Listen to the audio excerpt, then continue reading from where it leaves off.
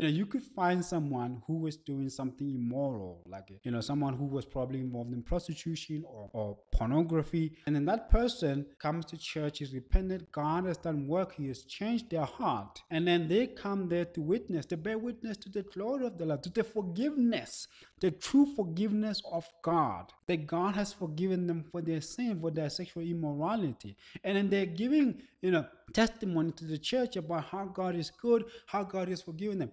There are already some people in the benches in the churches saying, "Ah, oh, no, I don't think she has changed. Look, I don't think she's. She's just saying, look, just give her six months." So you have people in the church saying that that person has not changed, even though they cannot see what's in their heart. Do you see that? They they they are already judging a person who is glorifying God for his work, for his power, for the for his grace, for his forgiveness, giving testimony. There are already people in the church, in the benches, saying that that person has not changed just give them six months or a year. They will go back and do what they used to do. Why? Because they don't forgive. It is God who forgives. You see, even Paul in the Bible, Paul, a lot of people, every time they see him, they always saw him as that one who was persecuting the church, that one who was fighting the church of Christ. They never even tried to see the work that God has done in him to make him the Paul that he became. If and in, and then and then in case of a person in a church because they've given him a certain time or her a certain time that you know he hasn't changed or she hasn't changed just give him or her six months, they're gonna go back to the sinful life they're using. When they don't change, I mean, when they they don't go back to their sinful life, when they become even more powerful, when they become even more powerful, that they start to reveal things that the pastor could not reveal from the word of God. These people become resentful. Look at that. They become resentful because now God is using a great sinner a sinner whom everyone knew that they were a great sinner, to reveal greater things that God did not reveal in them. They become resentful towards God. And they're starting to say, How can God do all these things through her or through him, a known common criminal or a known common prostitute or, or, or a person who used to do pornography and all that? Why couldn't God do it in us? You see, they even become hateful towards God. God, how can God do this?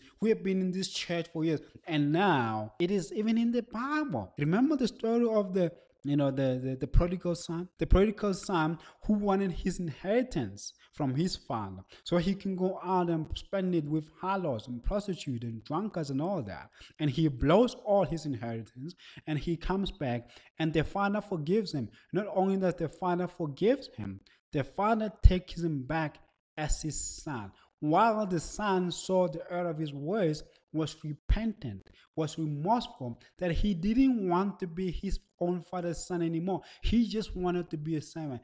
Guess what happened to the son who was claiming to be righteous, who was acting like he loved his father, that he really loved his father? But what we do see is that this son who did not go away, who was looking after his father's wealth, who was looking at his father's goods, really all he wanted was his father's goods. He never really wanted his father. He never really wanted the love of his father.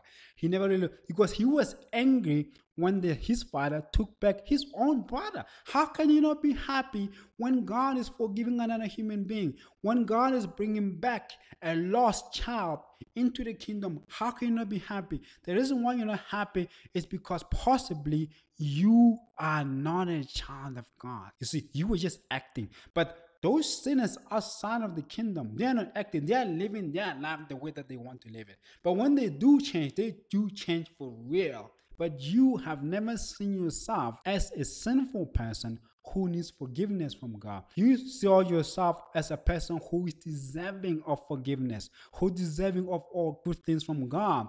So that when God does good to those who have just repented for a while ago, God starts to do great things through them.